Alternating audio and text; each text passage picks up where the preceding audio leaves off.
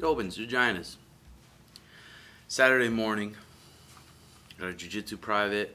Then Sugar's got a spar, so we're gonna go help him get ready. Possibly, if we get something popping here June 7th. But I thought I'd pop in the studio and uh, give you guys a little vid. I know a lot of you guys are from in your 20s to 30s, or some even teenagers too. So I've been around a lot of good coaches. Greg Jackson, Robert Follis. Um, Robert Follis was the coach of Randy Couture uh, when he won the belt. Miesha Tate when she won the belt. Um, I was coached by Greg Jackson on the Bellator TV show. And then John Crouch at the lab and Taquino Mendez. I've been around good coaches my whole life. So I want to talk a little bit about what coaches and me look for in a potential fighter um, someone who walks in the door and says, "Hey, I want to be a fighter," um, I'll say, "Cool." I'll show them. I'll, tell them the times. Every, I've heard, I've heard this from hundreds of people. I want to be a fighter. I want to be a fighter. I say, "Cool." I'll tell them the times. These are the times you have to show up. And then first, we'll give it about two, three weeks and see how consistent they are. Consistency in anything. Consistency over time equals results in anything you want to do. You just got to be consistent. Sometimes in random things, it's going to feel like you're not getting better, but you just got, if you want to get good at something, you have to have consistency. It's the number one thing. Next, I'll kind of look at and talk to them about what their background was. Have they wrestled all their life? Because that's going to come into a play. Have they uh, played sports? Have they played basketball? Have they done athletic sports in their life? Um, that's going to be a big a big thing. If you haven't, that's not a big deal because there's still been great fighters that have never played sports until they started fighting.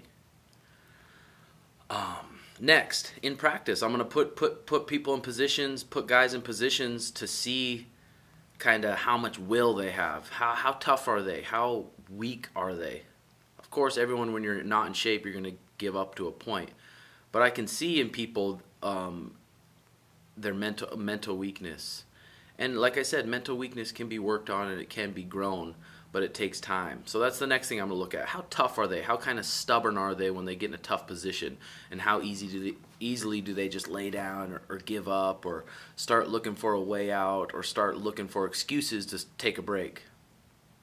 Because I think that's a lot of what people aren't expecting when it, they want to be a fighter they come in, they want to be cool, look cool on on posts and for in front of chicks, but man, you have to put yourself in some bad situations a lot and painful situations. Um, where you're getting your body kicked, your leg kicked, your heart rate's at 190, you can barely think, but it's how how do you act when you're super super uncomfortable? What's your body language like? Um, next, you're gonna go with guys that are better than you, 100%. You're not gonna come in and beat up beat up everyone in the room. And if you do, you should probably find a different room. So how do the people react to getting beat up by the more experienced guys, by the pros, by the guys that have been doing it for a long time? Because those guys are going to beat you up. They're going to test you mentally just like anything else. How do you react to it? Do you cry? Do you uh, leave? Do you not come back? How, how do you react to it? I was a hothead when I was, I think, 18 years old. I, I would get tapped out and I'd get so fucking pissed about losing. But I really had to tune that in. I come down, I started training with Benson Henderson and started kind of seeing his attitude a little bit more. He'd get beat up on days and it just wouldn't even affect him. It wouldn't be any different than the day he went and beat people up. So I was like, okay, that's kind of how I need to be. If I get tapped out, great. I made a mistake. Um, if I get beat up one day, that's okay. Maybe it was a long week, a long week of training. There's tons of different things. Or some days you just have a bad day and you get beat up but that doesn't define you as a fighter. So how how what's your attitude attitude when people kind of beat you up and you're getting the better better of you? Probably next is how they learn. How do you learn? Are you paying attention when I'm teaching you? Are you taking these lessons in when I'm teaching you? Are you taking whatever coaches are teaching you? Are you taking it in? Are you listening? Or is your mind wandering somewhere else? Um, how well do you learn? And everyone learns in different ways, so that's a job as a coach to figure out kind of what way do they learn, what way do they soak up that information. That's a that's an important one because some kids learn really quick. Uh, they pick up things. They'll listen to you. They're focused, and you can see them when they're training, when they're when we're doing drills, that they're paying attention to their coach.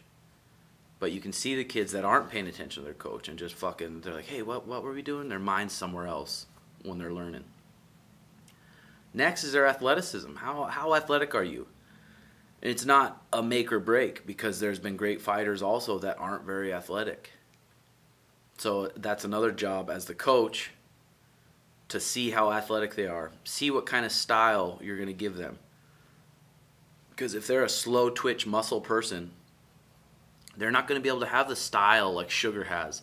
Hands down by his waist, moving around. Because Sugar's fucking athletic. He's quick. He can move out. He can move back. His eyes are really good. He has some of the best eyes in the game. But for a slow twitch person who's not super fast, I'm gonna you're gonna have to teach him a different style. You're gonna have to teach him to have really, really good defense and get close and wear someone out.